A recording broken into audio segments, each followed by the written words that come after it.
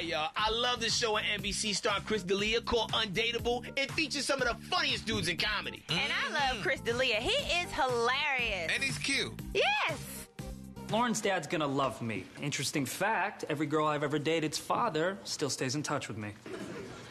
Uh, hey, yeah, Guinness Book of World Records. Uh, yeah, I have the most boring fact of all time for you. yeah, it's the same guy. Now, we were recently on the red carpet with the stars of Undateable, and here's how that went down. And now you're going live this season. Does that scare you at all? No, no, uh, we we don't care.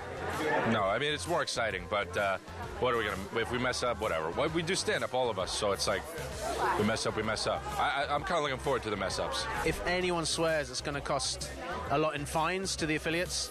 So if one person says a swear word, then it could end up meaning the show gets pulled. I don't know. To be honest, like I don't feel like for me it's that much work because Leslie just pretty much hangs out and drinks wine at the bar. That's really fun, and it's going to be a party, so I feel like I can get away with drinking wine for real. Uh, it'll be awesome. I'm not really nervous, I'm more excited, but I'm also delusionally confident. So another reason I'm undateable.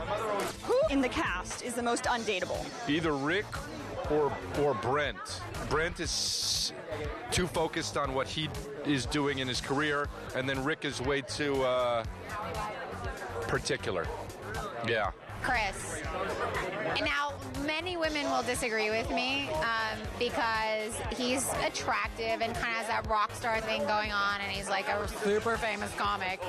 But he's kind of selfish and he thinks about himself a lot. He doesn't come to meetings. He thinks because he's this huge star, he can just do whatever he wants. Um, yeah. Too high maintenance for me. Probably Rick. He's got a lot of neuroses. He's got a big chain. Yeah, probably Rick. It's funny because he says you're undateable. Does, does he? Did you say I was the most undateable? No, Brent was the most undateable, but I'm better looking than you. Um, I'm going to change my answer to Brent. Yeah. Yeah, because he's the least good looking. Me. Probably me, but the, not. I'm not trying to get sympathy for this one. Uh, I recently got a girlfriend, but before that, I never had one because I'm kind of a little ADD. I like being young and I like having fun. Okay, America, get off my back. Be sure you catch the Undateable Season 3 premiere Friday night at 8 p.m. 7 Central. Baby, I heard you weren't subscribed to our channel. You better click on that button right there down below.